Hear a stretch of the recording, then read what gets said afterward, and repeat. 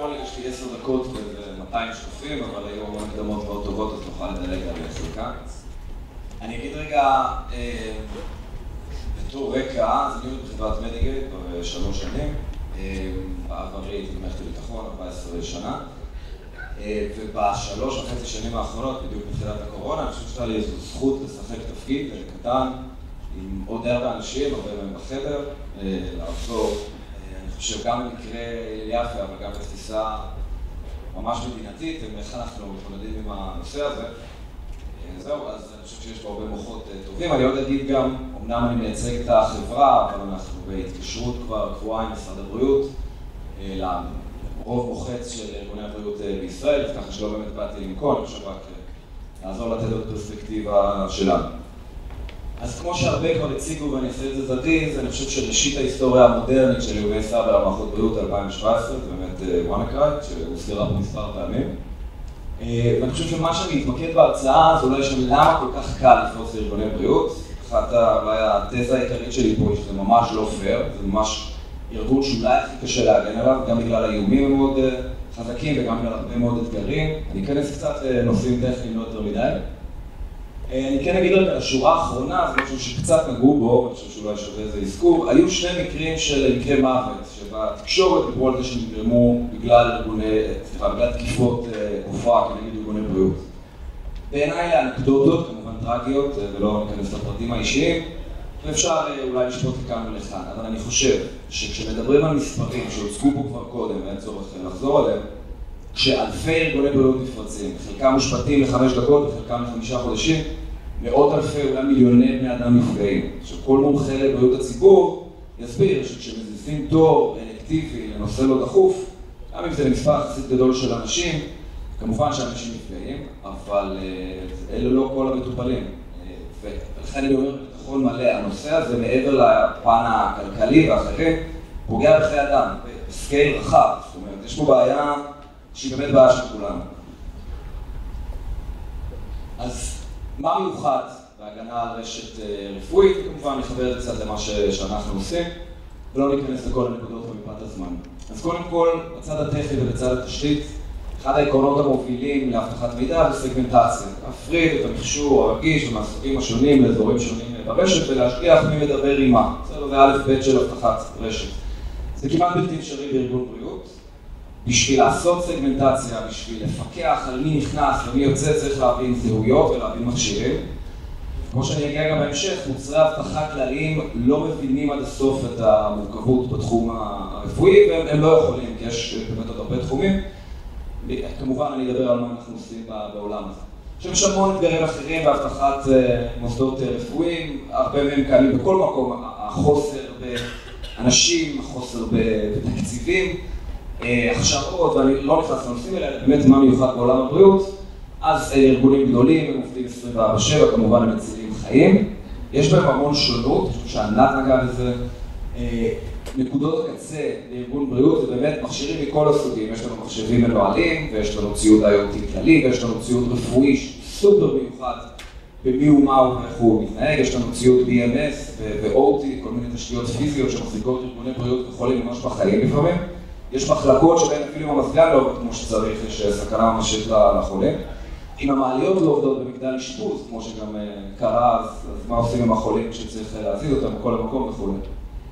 מבחינת המכשירים, מכיוון הדבר אולי אחד החשובים לזכור, ציוד רפואי וציוד גם IoT רגיש אחר, אורך החיים שלו הוא מאוד ארוך ביחס לציוד IT. אם אני מחליף את הלפטופ הזה כל שנתיים-שלוש, אני מקווה, ואולי שרת כל ארבע חמש, אפשר לקרוא מכונת MRI והיא תחזיק שם 20 שנה, נמצאת תחת רגולציה, גם זה נאמרו קצת בהרצאות הקודמות. אי אפשר לעשות שינויים, אה, בוא נגיד, כל אחד אה, עושה לעצמו שינויים בשיעור רפואי, זה דבר שהוא לא, לא חוקי ויכול מאוד לסבך את הארגון. ואפילו לעדכן מערכות הפעלה ולשים אה, עדכוני תוכנה על מכשירים כאלה כדי להגן עליהם, זה דבר שהרגולציה מאוד מאוד מקשה עליו. והבעיה הזאת מתגברת בקצב גובר, מה שכתוב שם, החיבוריות המתקדמת.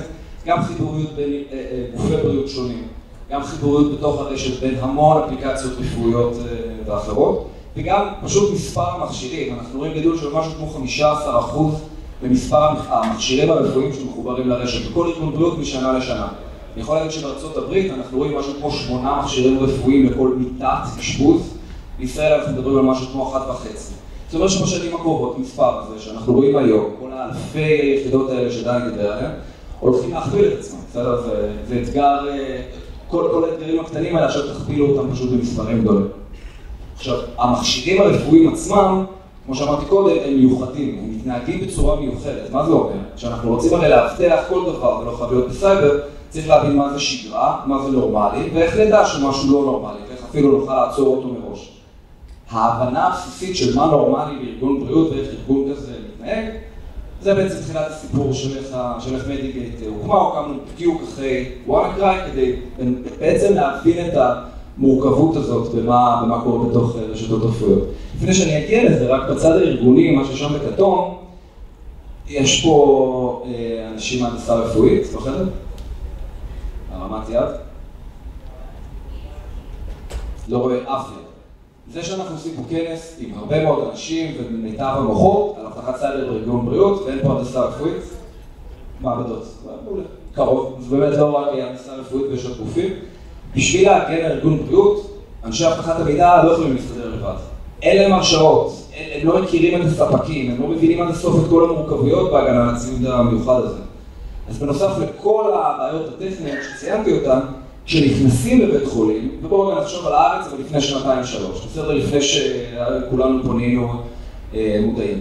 וצועקים חזק, מי אחראי פה על אבטחת סייבר, מישהו יגיד אני, וכמה יצביעו, וזה לא יהיה נורא ברור. המורכבות הארגונית היא גם משחקת אה, תפקיד, וגם לזה אני אגיע, אני חושב שחלק ממה שאנחנו מנסים לעשות זה לעודד את השיח, ליצור שפה משותפת, ליצור databaseים משותפים למחלקות שונות. מה, מה כל זה מוביל אותנו שם בצד ימין, יש משטח תקיפה מאוד גדול בארגוני בריאות, לא דיברנו על הממשק לאזרח, המון נושאים אחרים. יהיה בעצם רשת שעושה את החיים מאוד קלים לתוקפים, וגם זה הוסבר פה באיזשהו מובן קודם. אין איזה פתרון קסם, הרבה פעמים אומרים, טוב, נשים אנטיווירוס או אידיאל, מה שהרבה קוראים לו היום, אבל כששני שליש מהמכשירים ברשת לא תומכים באייג'נט הזה, אז אנחנו מחפשים מתחת לפנס, אנחנו מחכים לתוקף. איפה שהוא כבר יודע שאנחנו נמצאים, אבל מדובר בשליש מהרשת, בסדר? אה, וזהו, והדבר האחרון, פתרונות אבטחה כלליים, ואני אגיד אה, בהערכה, אנחנו עשינו את הפרויקט משרד הבריאות עם צ'ק פוינט ועם בינת, אנחנו עובדים הרבה אה, שחקניות בשוק, ואנחנו לא יכולים להחליף את מוצרי האבטחה הגנריים, אנחנו יכולים לעזור להם לעשות עבודה טובה יותר. ממש היה פה דיון על הפוליסה של האבטחה בפיירוול, עם ה... תוכנית האבטחה, גם אם הכלי הוא הכי חזק ויש לו שרירים אה, גדולים, צריך לדעת מה הוא עושה, להבין את המורכבות. אני רואה פה שנשארו לי שתי דקות, אז אני קצת רץ. מה אנחנו עושים מאוד בזריזות? כל הכל, כל מה שאנחנו עושים הוא פסיבי. זה הדבר הראשון שהבנו, שבארגוני בריאות אין מקום לשבת באמצע, אין מקום אה, להיות פולשניים מדי, כי אף אחד לא ישתמש בזה, ובצדק, יש פה מכשור שעושה עבודה חשובה 24/7 ואין מקום לטעויות. לכן העיקרון הבסיסי הוא שהכל עובד בצורה פסיבית, אנחנו מקשיבים לרשת, מפיקים תובנות ואיתם עושים כל מיני דברים. אם יש לנו איזו תקלה או משהו כזה, כלום לא קורה. זאת אומרת, המערכת שלנו אולי לא תעבוד, אבל אין שום הפרעה. חמישה דברים שאתם רואים פה, אה, מגילוי המכשירים, אנחנו בעצם באופן אוטומטי מראים את כל הנכסים ברשת, זה כמו ליצור מפה כזאת של כל מה שמחובר, זה כולל גם משתמשים, אפליקציות וכולי, אבל הדגש הוא על מכשירים. לנסות להעריך איפה נמצא הסיכון, יש לנו מערכת דירוג כזאת, שמטרתה לעזור ללקוחות להבין איפה הסיכון הגבוה ביותר. כנראה שאיפה שהסיכון הוא גם גבוה וגם שכיח ומשותף להרבה מכשירים, משם כדאי להתחיל את תוכנית הטיפול. וזה השלב הבא של להגן על המכשור, גם בצורה פסיבית, כמו שתיארתי, וגם בצורה אקטיבית, למשל, כמו שאנחנו עושים אה, עם, אה, עם צ'ק פוינט. בהמשך אנחנו מנטרים, בעצם מחכים לאירוע האבטחה, ואולי נראה כמה דוגמאות מאוד קצרות ב-40 שניות שנשארו לי. אה, ולבסוף, מעבר לסייבר, הבנו שכשאנחנו אוספים מידע בצורה סיסטמטית, אנחנו יכולים לעזור ללקוחות שלנו גם לחסוך כסף. אנחנו יודעים לעזור למצוא מכשירים ממש פיזית, אנחנו יודעים לנטר איך נעשה בהם שימוש. כמו שאתם לוקחים את האוטו למוסך ואומרים לכם תחזרו אחרי שנה או 50 אלף קילומטר, ה-50 אלף קילומטר זה מונח שלא קיים בעולם הבריאות. אנחנו מספקים אותו ללקוחות שלנו, ובאמצעותו הם יכולים לתכנן רשת, אה, רכש ותחזוקה ולחסוך המון כסף. אז uh, באמת בזריזות רק לקבל טעימה, גילוי של כל המכשירים ברשת, לא רק הרפואיים, כמובן, כמו שאמרתי, על כל מכשיר מקסימום מידע, המון פרטים שנוגעים בעיקר לאבטחת מידע ומיקום ודברים אחרים uh, uh, שהזכרתי.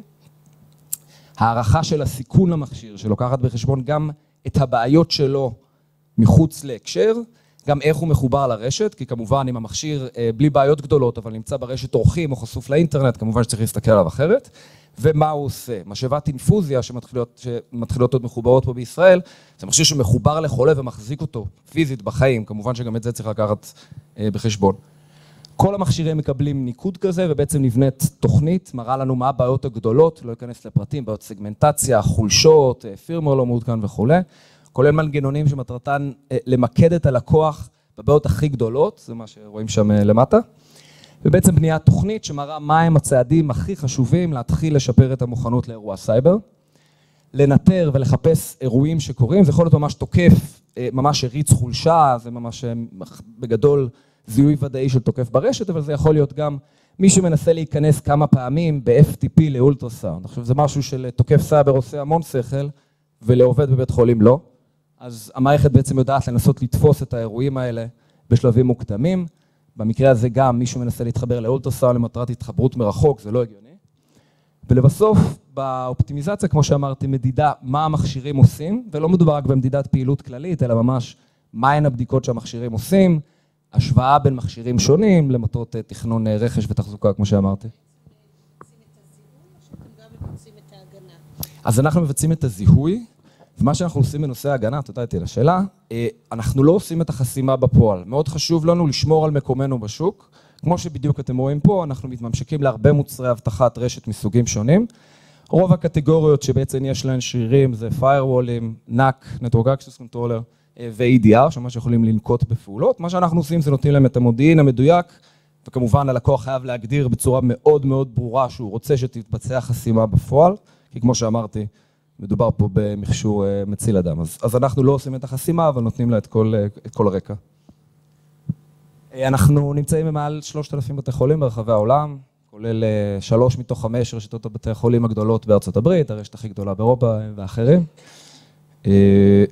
וזהו, תודה רבה.